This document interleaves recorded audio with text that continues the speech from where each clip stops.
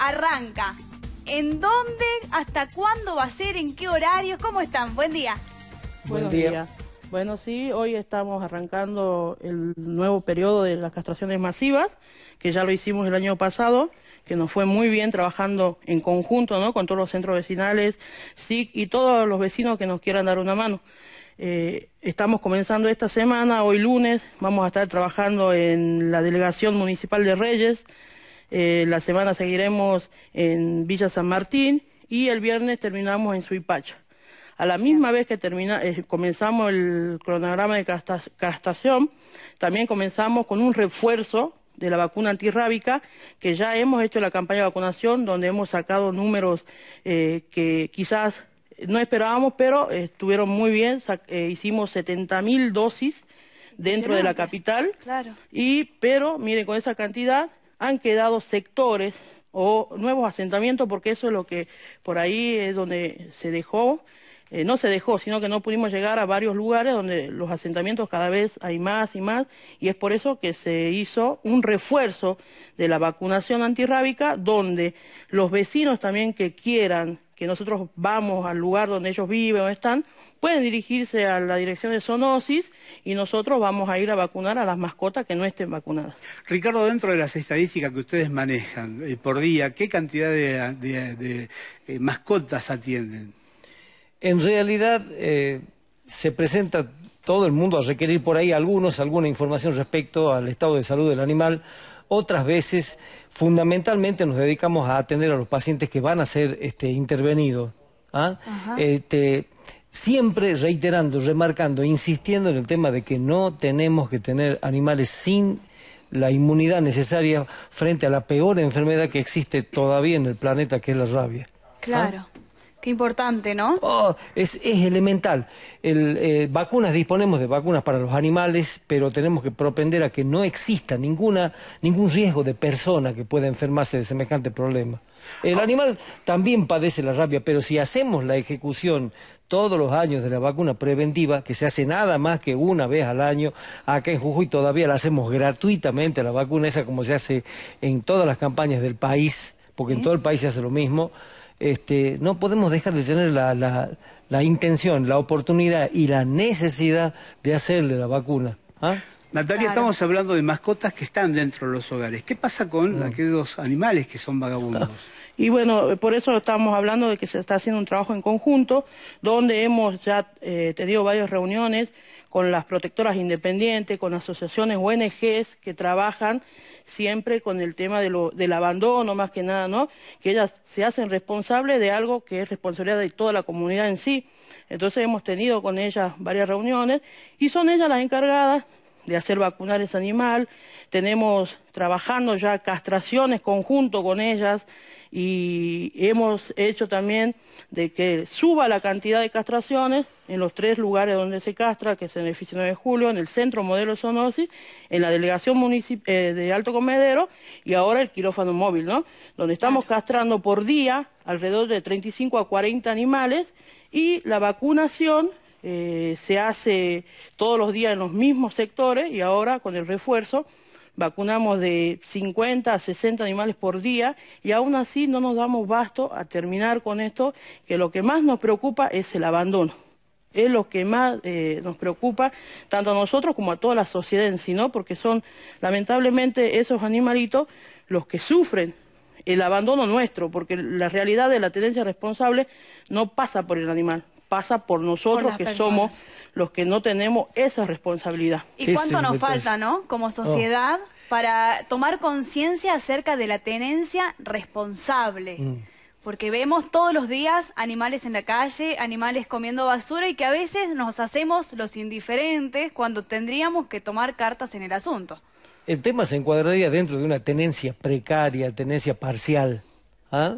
Esa es la denominación que he leído este, significan estos animales que están en la calle así, pobrecito el perrito, y le entregan la comida así y se van. Después y el perro queda abandonado bien en la calle sin saber si es que ha tenido vacuna, sin saber si ha pertenecido a alguna persona. Ese animal puede llegar a causar temor en muchas personas por los chicos que andan por ahí jugando en el barrio, por los chicos que andan en bicicleta, atentos con eso, o los que van en moto Las personas que van en motocicleta por ahí tienen que sufrir el, el, embiste de estos animales que no tienen la preparación, la dedicación del dueño de enseñarle a comportarse en la calle. La verdad. Ojo con eso. Eso es cuestión de tomarse el trabajo de, educarlo al animal porque los, animales aprenden, tienen un, este, una memoria que les permite tranquilamente adaptarse a una convivencia perfecta y normal. ¿Eh? ¿Saben por qué les preguntaba todo este tema? Porque creo que hay muchos animales sueltos en Alto Comedero. Fundamentalmente creo que ese es el lugar Pero no es el único, hay en muchos lugares animales sueltos. Antes podíamos hablar de una problemática, como quien quieres decirlo, en el barrio Alto Comedero. Ahora pasa en todos los, barrios, en todos. Se puede hablar de Alto Comedero, como se puede hablar de Ciudad de Nieva, se puede hablar de asentamientos, como se puede hablar de Alto La Viña. Estamos en la misma situación y no, no voy a cansar de repetir que es el abandono y obviamente la responsabilidad nuestra, ¿no? De todos en general, no únicamente municipios, no únicamente centros vecinales, no únicamente la prensa, de todos en general. Y esto únicamente lo vamos a acabar trabajando en conjuntos de un lado, del otro o donde estemos. Es la manera, es la manera yo he pasado trabajando en Alto Comedero un tiempo bastante largo antes de ser director. Este, y les puedo decir con toda honestidad eh, y casi por decreto, como decía un presidente nuestro, este, que la mayor densidad demográfica de animales de toda la capital de Jujuy, de toda la capital de Jujuy, está en Alto Comedero. La mayor densidad de animales, perros y gatos está ahí. Entonces hay que apuntar a que ese lugar, y estoy gestando enloquecidamente, gestionando este, un vehículo propio para hacer el quirófano ambulante ahí en Alto Comedero y estoy desesperadamente pidiendo refacciones que pongan a ese quirófano a la altura de la necesidad que tiene ese lugar que es el más importante teóricamente de la, de la capital. Y hablamos, ¿no?, de tenencia responsable y está ligado, por supuesto, a la castración. ¿Cómo tienen que hacer los vecinos? ¿Tienen que sacar algún turno? ¿Tienen que pagar algo? Tienen que dirigirse ya todos a los centros vecinales de su barrio, donde se les va a estar haciendo la inscripción para la castración y el requisito fundamental es la vacuna antirrábica.